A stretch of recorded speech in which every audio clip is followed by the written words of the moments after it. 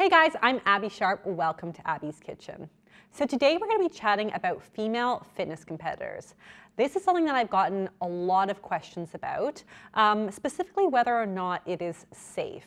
There are a ton of popular female bodybuilders and fitness competitors on YouTube that have really made this idea of female bodybuilding and fitness competitions a lot more popular and well known.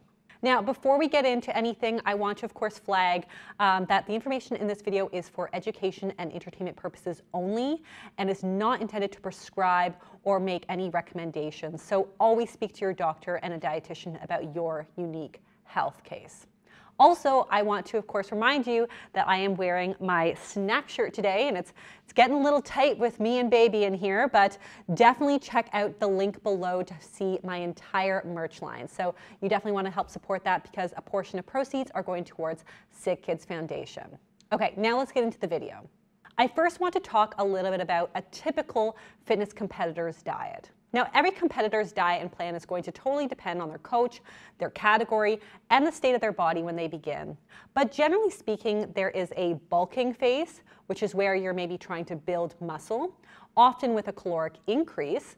And later there's a cutting phase, and that's where you're trying to lose body fat while still maintaining as much of that muscle mass that you can.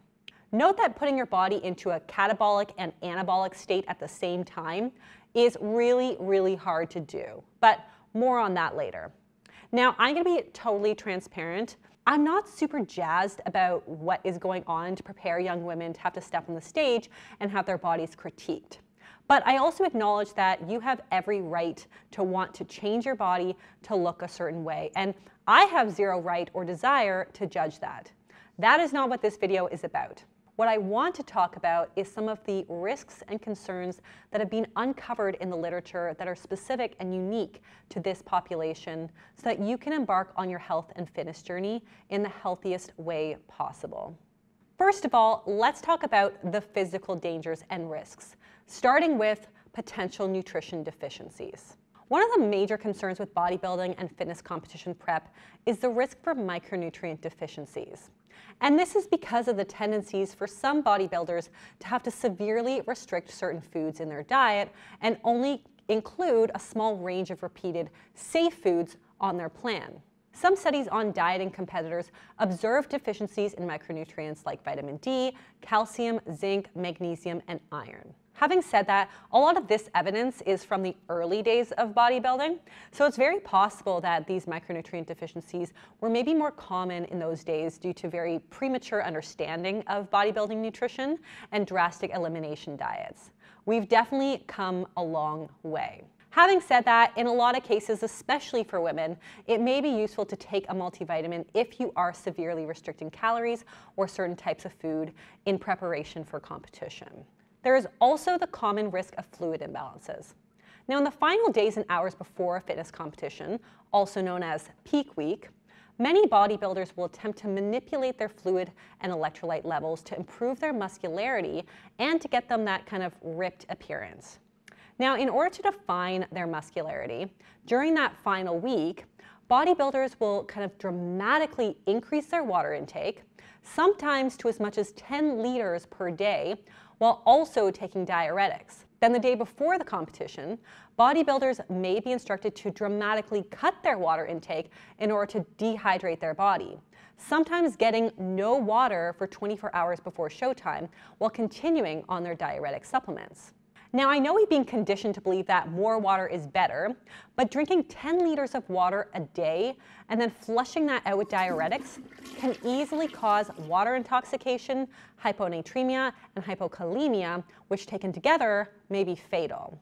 Other side effects can include irregular heartbeat, fatigue, seizures, GI distress, muscle cramping and weakness, headaches, and more. Playing with water might even make you look too flat depending on how and when it's done. So you could actually put yourself at risk and not even get the desired look for competition. Now let's talk about some supplement concerns. While the supplement industry's market is worth as much as $37 billion a year, most researchers and healthcare professionals caution their use because there really isn't clear evidence that they work and are beneficial to our health. On top of that, Because supplements are not necessarily so well regulated, there are a ton of illegal substances that make their way onto store shelves, and honestly, they have killed people. According to a 2016 study, it's estimated that around 23,000 emergency room visits a year are linked to supplements. Because of the lack of regulation, consumers don't really know all of the ingredients in supplements, and dosages could even vary from pill to pill. That is really scary stuff, and we need greater regulation if it's causing people to die. There's also potential side effects of some common supplements used for fitness competition, from anxiety, insomnia, kidney and liver damage, infertility, and even death. You really have to trust your coach to prescribe these cocktails of supplements and drugs in appropriate doses for you.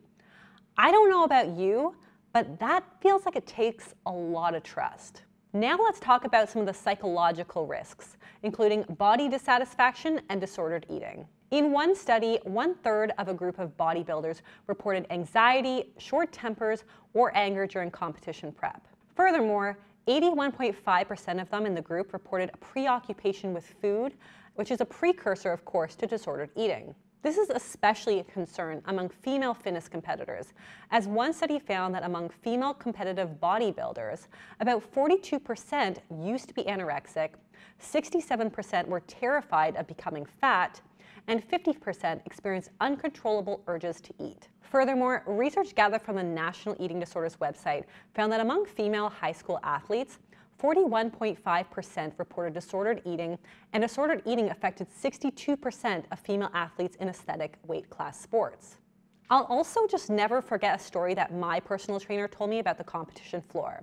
He said that young female competitors all bring these suitcases filled with cookies, candies, cupcakes, donuts, you know, all the things that they haven't allowed themselves to eat while doing their prep diet. Then the moment that they get off stage, they tend to go crazy and literally eat until they make themselves sick. So while you may look at a fitness competitor and assume that they're the picture of perfect health, it's very possible that some of these behaviors may tell a very different story. This is just another perfect example of how one's physical body is not necessarily a great depiction of their actual health. You really cannot judge a book by its cover. Now let's talk about my bread and butter, fertility. Anytime that you're severely restricting calories or increasing activities, you put a woman at risk for hormonal imbalance, which may in turn impact fertility and overall health. In one study, 25% of female bodybuilding competitors reported abnormal menstrual cycles, while another study reported that women complained of menstrual irregularity within the first month of competition prep. The researchers found that caloric restriction led to a decline in fat and body mass, which resulted in the absent menstrual cycle.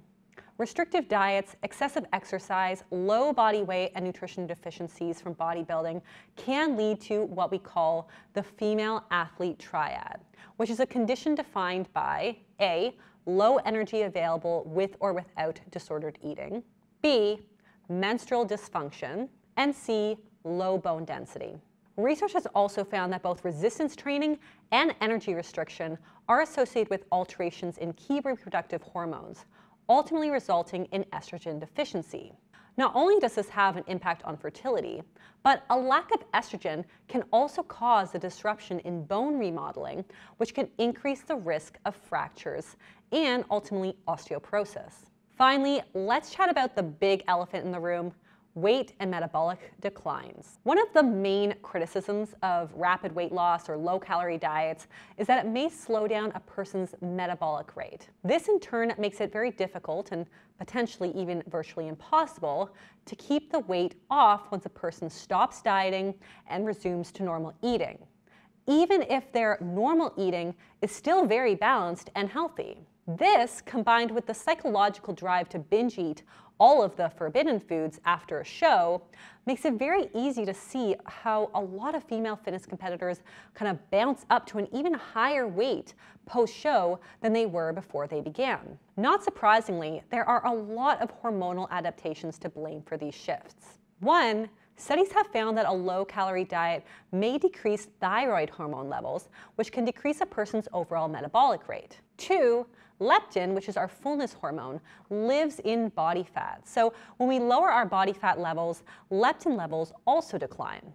Studies have shown that a low calorie diet with an effort to promote fat loss may decrease leptin levels, resulting in competitors feeling basically constantly hungry and prompting them to overeat. Three, ghrelin, which is our hunger hormone, increases in the body when we fast. So researchers have found that a low calorie diet can increase ghrelin, stimulating participants to eat more.